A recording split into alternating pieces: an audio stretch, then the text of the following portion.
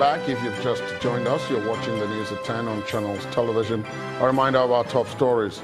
No breakthrough yet after over eight hours of talks in Abuja to resolve industrial dispute between federal government and striking resident doctors.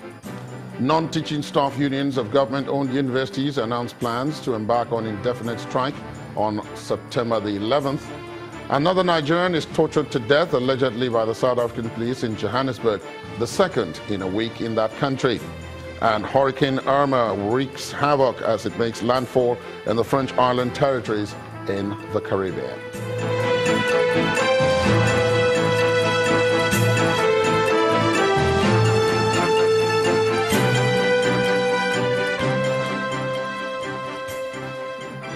Now, for more on our top stories and others, please visit our website, channelstv.com and youtube.com forward slash channelsweb. Also, please log on to m.channelstv.com to watch us on your mobile device or download the Channels TV app for Android, iOS, and Windows devices from their respective stores. The Channels TV and Channels 24 app will give you access to news and updates. You'll also have access to the Eyewitness feature with which you can share those pictures, videos or news of happenings around you. Just install the app, then tap and swipe to reveal the menu and follow the instructions. Now, here are some of the pictures you sent to our eyewitness portal today. Our first photo tonight shows the frightening state of Ubaho Community Road in the Nkanu East local government area of Enugu State. Our eyewitness reporter laments poor government attention on this agrarian community and is soliciting help in order to save the people the pains they've had to put up with. The state of an alleged only industrial road neglected in Amuwo Odofin local government area caught the attention of our next eyewitness reporter who claims Alakusa Road deserves more than it's currently being given. Our eyewitness reporter is calling on the Lagos state government to come to the aid of the residents and road users. Our next snapshot is that of a burst pipe in Bagi in Ibadan. Our eyewitness is disturbed by the sheer waste of water and calls for the protection of public utilities. Finally, is this video of the poor state of Lawanson Road in Surulere. Our eyewitness says motorists now dread the portion of the road due to potholes infestation and is calling on the Lagos State Public Works Department to do a quick work on the road. Well, thank you for sending in those pictures. Please note that you too can report events as they happen around you. President Muhammadu Buhari today arrived in Abuja after spending the Eid al-Kabir holidays in Daura, Katsina State. While in Daura, the president played host to several groups, including corps members serving in Katsina State, where he reiterated the need to sustain the country's unity. On Monday, the president met with the president of Niger Republic, Mahamadou Issoufou, and the two leaders met behind closed doors. The weekly Federal Executive Council meeting had been called off over what the Minister of Information and Culture, Alhaji Lai Mohammed, said was the inability of ministers to adequately prepare the documents for the meeting. The federal government will begin the dredging of the River Benue as a temporary measure to avert a reoccurrence of the flooding that submerged more than 2,000 houses in the state capital. Vice President Professor Yemi Osinbajo, while meeting with victims of the flood today in Makurdi, says government will also construct drainage systems to avert a repeat of the havoc. The Vice President's official jet arriving the Makurdi airport. The host team, headed by the Benue State Governor Samuel Ortom, was already waiting to receive the federal government delegate. Professor Yemi Osinbajo is accompanied by the Minister of Works, Power and Housing, Mr. Babatunde Fashola, and the Minister of Agriculture and Rural Development, Chief Audu Ogbeh. They are in Benue State at the instance of President Muhammadu Buhari, first to check the well-being of the victims of the flood and then to also proffer lasting solutions to the hydro-headed problem of flooding, which has been a cause of worry to the people for many years. The victims of the flood who were now seeking shelter at an IDP camp set up by the state government had been waiting anxiously for the vice president and his team to make their demands known. We have problem in Makurdi here, most especially that of the drainages.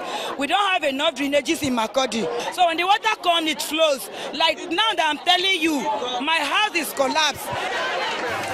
But the vice president tells them that the federal government is more concerned about solving the flood problems permanently rather than just providing a temporary solution. Professor Osinbajo and his team therefore identified the need to dredge the river Benue. We must do something about the Benue River. There must be effective dredging. We must begin that process because uh, the Benue River, as you know, has practically over 40 years or so, um, you know, has hardly ever been dredged. So that's a major problem. And then canalization, providing drainage and all of that is also another very important issue. After calming all frayed nerves, the vice president and his team headed for some of the areas worst hit by the flood. They also inspected some of the relief materials supplied by government to alleviate the sufferings of the victims. Because the vice president is here, we believe that Mr. President is committed to seeing that we put an end to this. And uh, we believe what Mr. Vice President has said. More than 2,000 houses were submerged in the flooding that swept many communities in Benue State, and victims seeking shelter here can only stay for a while as they continue to hope that some of the promises made by the government will be implemented as soon as possible. The debate over the best system of government for Nigeria has been dominating the Nigerian polity for some time now, and most of the time the buck has been passed to the ruling All Progressives Congress, the APC. But today, the national chairman of the party, Chief John Oyegun, opened up on his party's belief in true federalism and the commitment to restructuring Nigeria only on defined terms. Chief Oyegun says his party will come out with its own position on restructuring, but emphasized that true federalism and devolution of power are being considered. I'm aware that there are several interpretations of restructuring. So, is it wrong for one to know what people truly mean?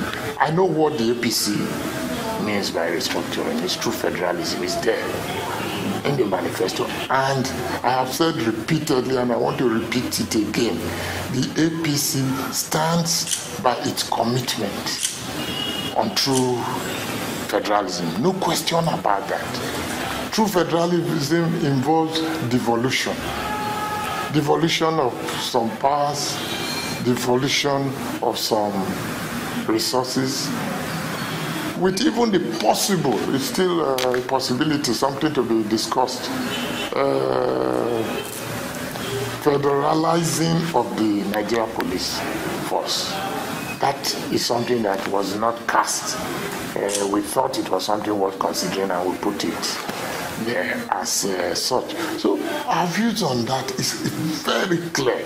It's not a few fringe groups. We think restructuring means return to the old uh, regions, which means some say restructuring means making the six geopolitical zones the new federating units. Some have even talked of 12. National Chairman of the APC, Chief John Odigie Oyegun. Meanwhile, the People's Democratic Party has been reacting to the news that the country has exited recession, saying the All Progressives Congress-led federal government is celebrating what does not call for any celebration. The party in a statement today says, quote, we are of the firm belief that there's nothing to celebrate until the so-called economic growth improves the harsh living conditions imposed on millions of Nigerians by the Buhari administration's incoherent economic policies and is reflected in a reduction in the high cost of goods, services, and staple foods necessary for everyday living, unquote. Data released by the National Bureau of Statistics yesterday showed that Nigeria exited economic recession after returning to growth in the second quarter of 2017 by posting a 0.55% GDP growth. But the PDP believes that the economic recovery in South Africa, which has also exited recession, offered evidence of the kind of growth that is worth celebrating. For the opposition party, Nigerians will continue to suffer until the inflation rate is brought down and the economy is further strengthened. Students of Kafanchan campus of the Kaduna State University, the College of Education Gidan Waya, and the School of Nursing, whose schools had been shut since November last year, can now return to school. The Kaduna State Governor, Malam Nasir El Rufai, announced the reopening of the schools for academic activities today. He explains that the closures had become necessary due to the level of insecurity in the areas. Youths in southern Kaduna bore the earth preparatory to the mass burial of their friends and family who died in the communal clash between locals and suspected Fulani herdsmen. All that appears to be in their past now.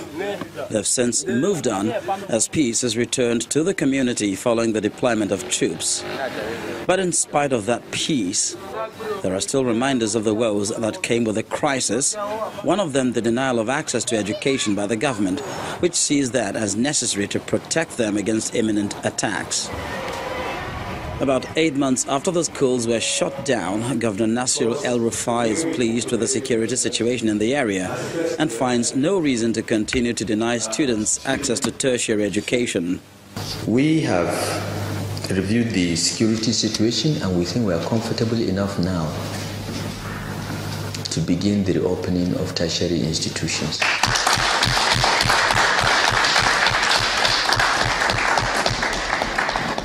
We called you because we want you to know it is because of you that we are doing this. With the governor in this meeting are representatives of religious and youth groups who see this as good news for their students. We've seen leadership where they are much concerned against all odds in trying to see that education, which will give a future to the younger generation, is the first priority that is put in place. Tolerance is among the suggestions given here to forestall a repeat of the bloody past. We need peace above every other thing. If there is a conducive atmosphere for things to be run without any interruption, then we can be sure of success. If there were a proper channel of communication, I want to believe that so much of the negative uh, comments and uh, feelings and expressions coming from the minds of people would either not be there or if at all there would be very, very limited. With this reopening of the tertiary institutions in this part of the state, the call for more security presence around schools becomes louder to ensure that teaching and learning take place in the safest environment possible. When the news at 10 returns, Debt Management Office begins roadshow in Kano for Nigeria's first 100 billion naira Islamic bond, also known as Sukuk. That'll be on the business news. Please join us again.